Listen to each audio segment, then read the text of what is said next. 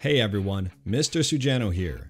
In today's video, I'm going to show you how to install a VPN on Kodi for the Raspberry Pi. Let's get started. To set up a VPN on Kodi, you will need to download some files and transfer them over to your Raspberry Pi.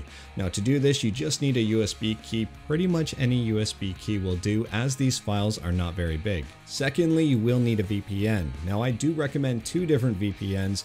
I like them so much that I decided to become affiliated with them, and that is Surfshark here as well as private internet access. I will leave links to both PIA and Surfshark in the description below. If you click on one of those links and do order, it does directly help out this channel. Now to set things up, the first thing we need to do is to download the Zomboided repository. I will leave a link to this in the description below. This is the file that you will need to put on your USB key and then plug into the Raspberry Pi. The file is less than a megabyte. For this tutorial, I am using Surfshark. If you are using a different VPN, maybe ExpressVPN or PIA or IPVanish or something, feel free to skip ahead in this video. If you have a Surfshark account, head over into your account, go to devices, and then head down to manual. So from here, this is where you will want to download your specific VPN files for Kodi. If you want to choose a specific server, you can. For me, I'm going to choose the server that's actually closest to me. You can either choose TCP or UDP. If you're looking for speed, I'd recommend going the UDP route. These files are not very big at all. Download these files and put them on your USB stick. And don't close this Surfshark page either. If you scroll down on this page just a little bit, there are some service credentials that you will either need to write down or keep up to reference later.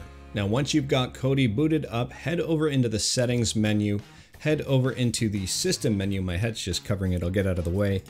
And from here, make sure you go into add-ons and then unknown sources make sure you check it to on because we will need to install that add-on you put on the USB key and plugged into your Raspberry Pi. Now to install the repository from the USB stick onto the Raspberry Pi. There are different ways to get to this menu, but I'm just going to show you one way here. Just go to System, then Add-ons, and then click Install from zip file.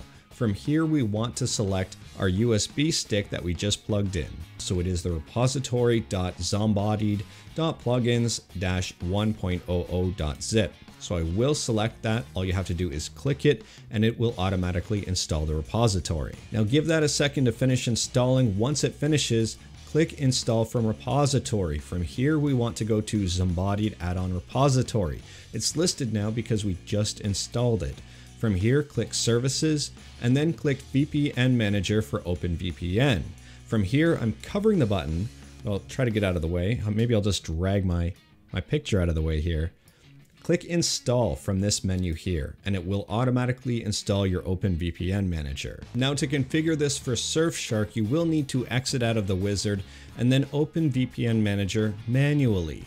From here, we go to the button that says Configure. Once you've entered your username and password credentials, scroll down just a little bit. Now it says UDP recommended. If you downloaded TCP credentials, select TCP. For me, I want UDP because those were the credentials I downloaded. Now click on User Defined Import Wizard. So it will come up with an option here. Just select OK. Then it will say any existing user defined settings and files will be deleted. Do you want to continue? Yes, we do. From here, select Directory, and we want to select our USB key that is plugged into the Raspberry Pi. Notice how there are no files here. Just from here, select OK. Now you are given an option here. You can select no or yes. For this video, I'm going to select yes and let it do its own thing. Now once that has completed, head over to your VPN connections, click on first VPN connection. It should automatically start doing some things. Hopefully it works to this point. The next step will come up with this box here to select your first VPN profile.